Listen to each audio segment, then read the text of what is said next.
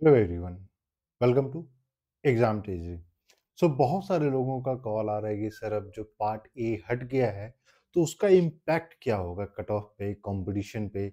अब जो है, जैसा कि आप लोग जानते हैं सीयूईटी का जो एग्ज़ाम होने वाला है 2024 का, इसमें सिर्फ़ पार्ट बी आएगा। मतलब कि जो आपके डोमेन स्पेसिफिक 75 क्वेश्चंस होते थे, सिर्फ़ वो सारे क्वेश्चंस पूछे जाएँगे।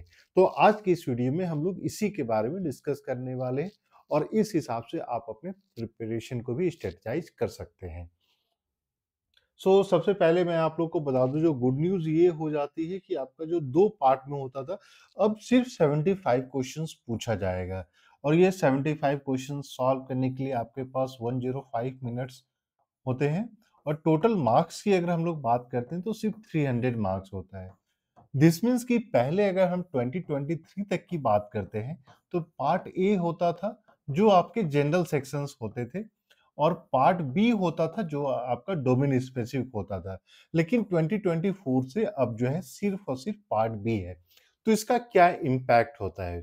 तो सबसे पहले हम लोग एक कंपैरिजन के रूप में देख लेते हैं दिल्ली यूनिवर्सिटी और जेएनयू जेएनयू और आपका दिल्ली यूनिवर्सिटी 2023 में क्या होता था कि जेएनयू सिर्फ़ आपके 75 क्वेश्चन को ही कंसीडर करता था, लेकिन दिल्ली यूनिवर्सिटी में 100 क्वेश्चंस आते थे। दिस मीन्स कि आपके 25 क्वेश्चंस जिसके टोटल मार्क्स हो जाते हैं 100 और फिर 75 डोमेन स्पेसिफिक क्वेश्चन जिसके टोटल मार्क्स हो जाते हैं 300 तो डीयू का जो कट ऑफ़ निकलता था वो आउट ऑफ़ 400 पे आता था। अब जेएनयू का जो कट ऑफ़ आती थी वो सिर्फ़ 300 पे निकलता था। ठीक है? तो यहाँ तक तो ठीक है। लेकिन सवाल फिर यही हो जाता है कि जो आपका पार्ट ए यानी कि ये 25 यानी 100 मार्क्स जो खत्म हो गया, अब इसका क्या इम्पैक्ट रहेगा?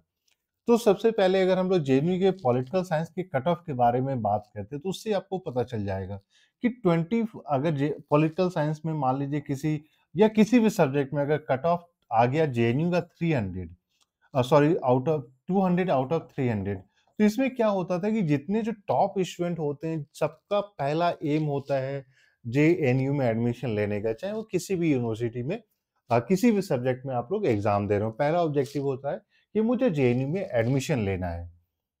अब मान लीजिए जो कट ऑफ़ 200 आ गई है तो इसके बाद अब जैसे हम देखते हैं कि डीयू का जो कट ऑफ़ हो गया वो मान लीजिए 220 हो गया।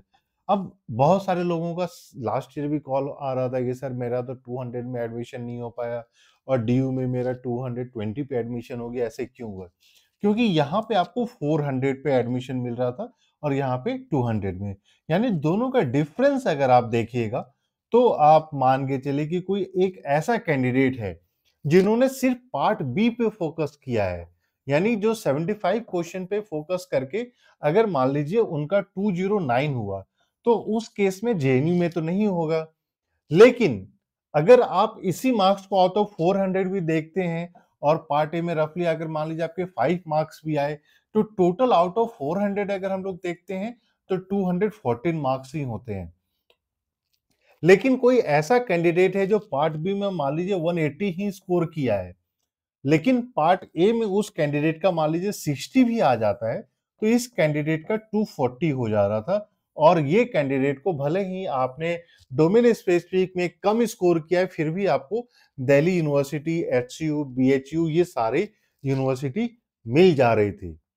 तो अब जो इंपॉर्टेंट हो जाता है, वो ये कि पहले ये हो रहा था कि अगर आपका डोमेन स्पेसिफिक में थोड़ा सा कम भी अगर मार्क्स आ रहे हैं तो क्योंकि पार्ट ए और पार्ट बी बहुत सारी यूनिवर्सिटी एक्सेप्ट जेएनयू सारे यूनिवर्सिटी दोनों को कंसिडर कर रहे थे तो दोनों मिला के आपका कहीं ना कहीं जो है पार्ट ए से भी मेकअप हो जा रहा था। आपका जो है मेकअप हो जा रहा था अगर आपने पार्ट बी में स्लाइटली कम भी स्कोर किया। लेकिन पार्ट ए अब खत्म हो जाने के बाद आपका जो है सोल हंड्रेड परसेंट अब एक ही प्रिपरेशन के लिए बचता है और एक ही बार अब आपको चांस मिलता है। क्योंकि बहुत लास्ट ईयर भी ये चीज़ हम लोगों ने स्टूडेंट्स को बोला था कि जब आप एंट्रेंस एग्ज़ाम में बैठते हैं तो आपको सबसे पहले पार्ट बी के क्वेश्चन पेपर देखने हैं। अब मैं एक बार जो लास्ट ईयर हम लोगों ने अपने स्टूडेंट्स को बताया था, जिसके कारण उनको दिल्ली यूनिवर्सिटी में फ़ायदा हुआ, जैसे लास्ट ईयर आपको 120 मिनट्स मिलते थे और 120 मिनट्स में आपको 25 पार्ट ए के सॉल्व करने थे और पार्ट बी के 75 सॉल्व करने थे। तो लास्ट ईयर हम लोगों ने स्टूडेंट्स को यही बोला था कि अगर आपको लगता है कि ये 75 क्वेश्चंस में आपको डिफिकल्टी हो रही है तो इसमें मैक्स टू मैक्स 90 मिनट्स ही दीजिए और बाकी के जो 30 मिनट्स बचते हैं, इसको फटाफट आप पार्ट ए को सॉल्व करने में लगा दीजिए। सो दैट कि यहाँ से 75 में से अगर आपके 50 टू 60 भी सही हो जाते हैं तो आपका ये ऑब्जेक्टिव होना चाहिए कि पार्ट बी ए का जो मार्क्स बचता है, यहाँ पे आपको ज़्यादा से ज़्यादा कंपनसेट हो जा सके। और अब देखिए 50 टू 60 75 में सही होने से तो आपको जेनी मिल जाएगा। लेकिन कुछ कैंडिडेट ऐसे थे जिनका 45 टू 50 ही सही हो पा रहा था आपके पार्ट बी में। तो उन सारे को हम लोगों ने बोला था कि ठीक है, आप फटाफट जो है पार्ट ए में अपना समय लगा के सॉल्व कर लीजिए। जिनका 40 भी सही हो रहा है, उनको भी हम लोगों ने बोला था कि अब 30 मिनट्स आपको एटलीस्ट पार्ट ए में देना चाहिए। तो वहाँ पे एग्ज़ाम में बैठे बैठे वो डिसाइड करना बहुत ज़रूरी हो जाती है कि आपको अगर मान लीजिए इंट्रेंस एग्ज़ाम में बैठ के पता चल जाएगा कि जेएनयू मिल रहा है कि नहीं मिल रहा है। अगर जेएनयू नहीं मिला तो कम से कम एच तो मिल जाए, दिल्ली यूनिवर्सिटी तो मिल जाए।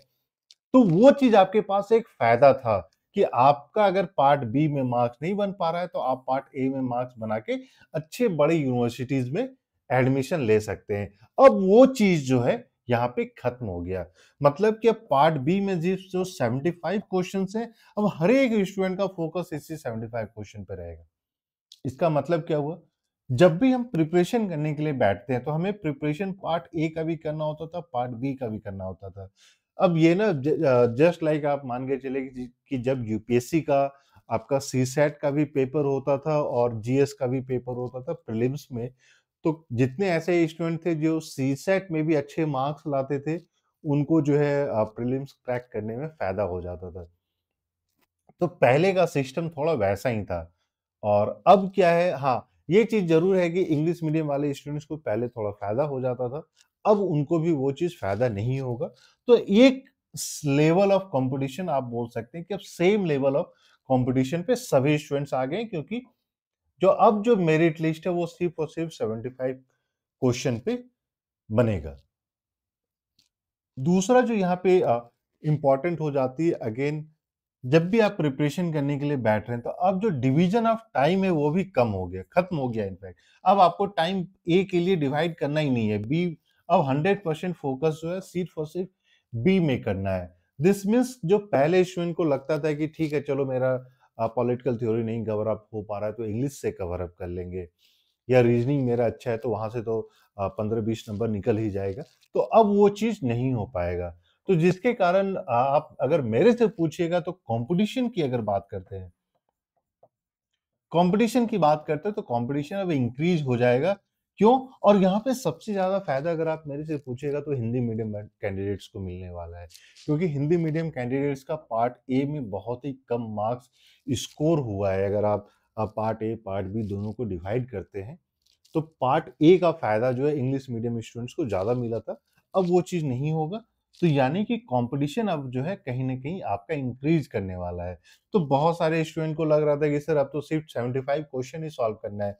लेकिन आप ये भी देखिए ना कि 75 क्वेश्चन को सॉल्व करने के लिए आपके टाइम भी तो कम कर दिया गया यानी कि आपके पास सिर्फ़ 105 मिनट्स हैं जो कि पहले 120 मिनट्स होते थे। और पहले ये होता था कि और बहुत सारे स्टूडेंट जो हम लोग के टेस्ट सीरीज़ में मॉक पेपर्स में अच्छा स्कोर किया, फिर फाइनली उन्होंने जेएनयू में एडमिशन लिया। तो हम लोगों ने उनको बोला था कि अगर आपका हंड्रेड परसेंट और कुछ स्टूडेंट को हम लोगों ने पहले ही बोल दिया था कि आप लोग को पार्ट ए सॉल्व करने की ज़रूरत नहीं है क्योंकि आपका प्रिपरेशन बहुत अच्छा है। तो वो सारे स्टूडेंट ऐसे थे जिन्होंने सिर्फ़ और सिर्फ़ पार्ट बी पे hundred percent in fact part A उन्होंने छुआ ही नहीं टच ही नहीं किया। उनके पार्ट ए में मार्क्स जो है ज़ीरो है और जेनी में उनका एडमिशन हो गया। तो उनको सारा समय जो है सिर्फ़ और सिर्फ़ यानी कि 120 मिनट्स आपको सिर्फ़ पार्ट बी पे फोकस करना था। अब कहीं ना कहीं यहाँ पे 15 मिनट्स आपका जो रिवीजन का टाइम होता है, वो थोड़ा कहीं ना कहीं खत्म हो गया। तो ये सारी चीज़ें बहुत ज़रूरी है कि जब भी आप प्रिपरेशन करने बैठे तो ये स्ट्रैटेजी जब बनाते हैं, ये नहीं होना चाहिए किसी, अरे सर, पार्ट ए खत्म हो गया तो कंपटीशन आसान हो गया। ऐसा नहीं है।